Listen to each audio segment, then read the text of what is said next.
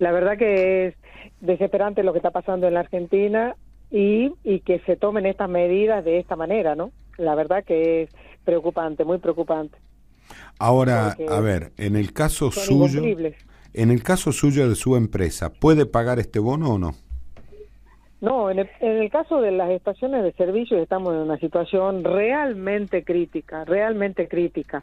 Todos nuestros ingresos fueron al ritmo del aumento del precio de combustible, que fue muy por detrás de la, la inflación que hemos tenido en la Argentina.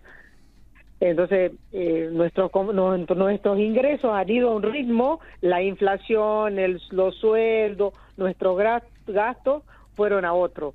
Y esto nos está llevando a una situación realmente preocupante a todas las estaciones de servicio. Y a ah, esto le tenemos que sumar esta medida del gobierno nacional de implementar un bono de, de 60 mil pesos para todos los empleados, que la verdad que no, no podemos cumplirlo. Claro, porque acá me parece que más allá de que el gobierno anuncie que va a haber un beneficio en los aportes patronales y demás, se trata del problema de liquidez que tienen las empresas hoy por hoy. Totalmente, totalmente. El problema pasa por ahí hoy principalmente. Y además, Silvia, ¿cómo le va? Buen día, Claudia Palacios. Buenos días, buenos días, Claudia. Eh, además, este, cada vez que hay una reactualización de precios, porque ustedes han tenido el precio congelado de combustible, esto también hay, que, hay que decirlo, durante mucho tiempo, y eh, bueno, ahora que se ha podido hacer esta reactualización, es imposible que no impacte eso en el consumo, o sea, baja la cantidad de ventas o me equivoco? Eh, tenemos que sumarle eso, de que cada vez que tenemos estos aumentos o esta, esta eh, inflación que tuvimos o esta devaluación que tuvimos eh, apenas terminaron las, las elecciones, la verdad que impactó mucho en la gente. Sí es cierto que es un producto de primera necesidad y al final se termina consumiendo, pero se sintió el bajón y se está se sigue sintiendo el bajón en estos días en la venta de combustible. ¿Y eso eh, a ustedes les obliga a, tomar algunas decisiones con el tema personal? ¿Ya están viendo suspensiones horarias o el tema de restringir las horas extras? ¿Qué tipo de medidas los están obligando a tomar para seguir manteniendo la fuente de trabajo, pero eh, evitar también este eh, eso que, que, antes redundaba en un trabajador que podía cobrar horas extras u otro tipo de beneficio? Sí, sí, exactamente lo que has dicho. Me parece que ya, ya llegamos al punto en donde las empresas, las estaciones de servicio, nos estamos empezando a ver obligados a tomar la medida que sea, porque no se puede continuar de esta manera.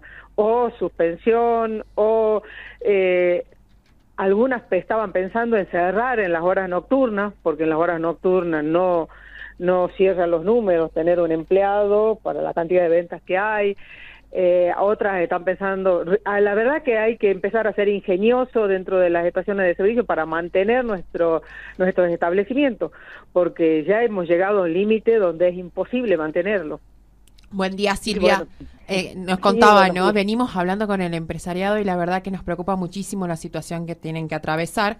Pero también quería preguntarle, eh, en términos generales, ¿qué interpretación hace, ¿no? De, las, de los últimos anuncios de las medidas que hizo el ministro de Nación.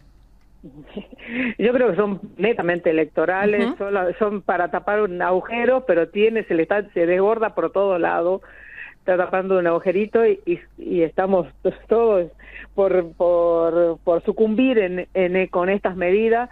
Me parece que, que no tienen, hay muchas medidas que no entendemos. La verdad es que creo que la inflación no se maneja con un control de precio, la inflación no se maneja congelando algunos rubros, la inflación no se maneja así y me parece que ya tiene demasiadas pruebas de que, y, que, que, no se puede de esta manera y no veo que reaccione o que haga otra cosa.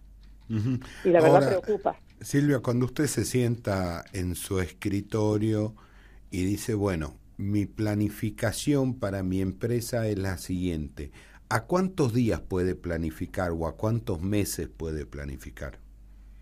Y ya hoy estamos a nada, no, no podemos planificar nada.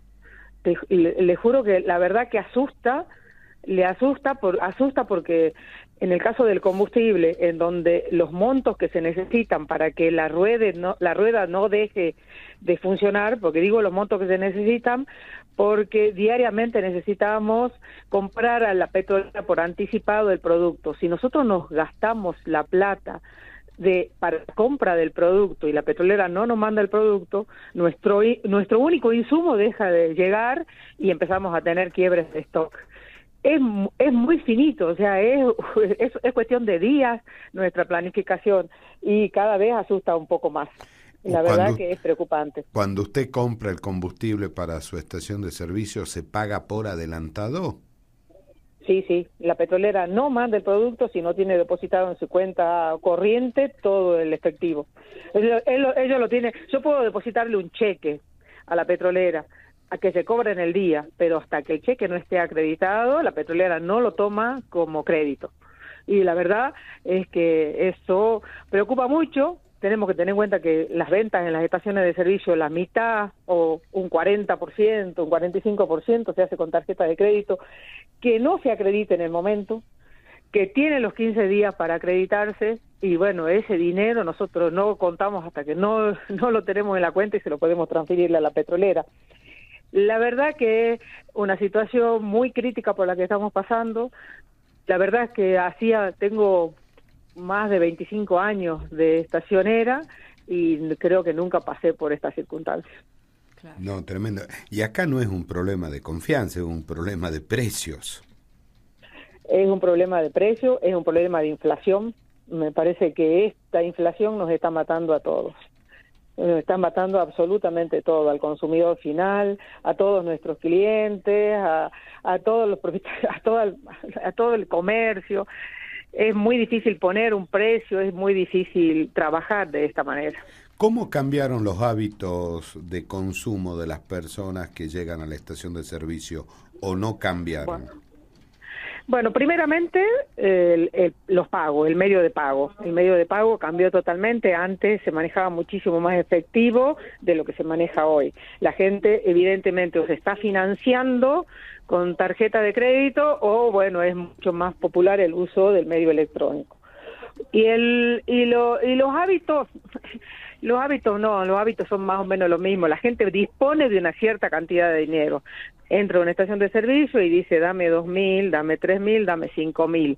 Y esos dos mil, tres mil o cinco mil cada vez alcanzan para menos, menos cantidad de producto. Ese es el promedio de la realidad. El promedio de venta es dos mil por automovilista. sí, depende, claro, dos mil, tres mil pesos por automovilista. Dice, bueno, dame, dame tres mil, dame cinco mil. Ya no hay quien venga y te diga, dame un tanque lleno. Eso ya no existe. Eso ya no existe.